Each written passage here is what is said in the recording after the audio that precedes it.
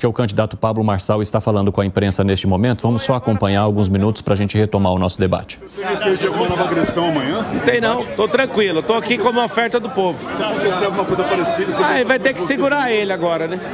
Já viu que a televisão ontem, a TV Cultura, não fez nenhum pronunciamento, não solidarizou com nada que aconteceu, pelo contrário, tentam explicar coisa que não existe, passar pano para o Datena.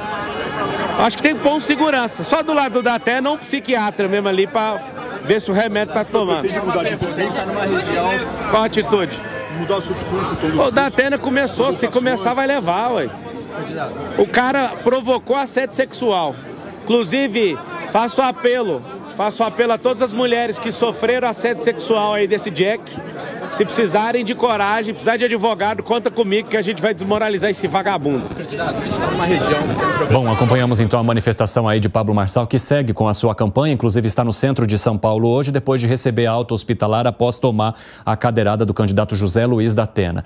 No Uh, ao conversar com a imprensa, o próprio candidato José Luiz da Atena já explicou que houve uma denúncia feita contra ele por assédio sexual à época, uma denúncia que, segundo ele, a própria vítima acabou recuando depois, que não houve nenhum tipo de apontamento ou condenação ou apontamento do Ministério Público Federal ou da Justiça e que, por conta disso, o caso foi arquivado.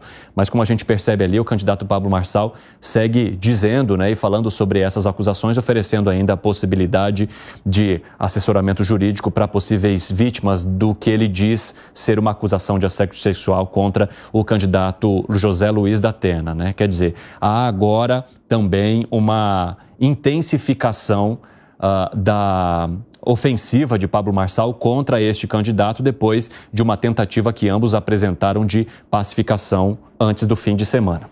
Tudo mudou.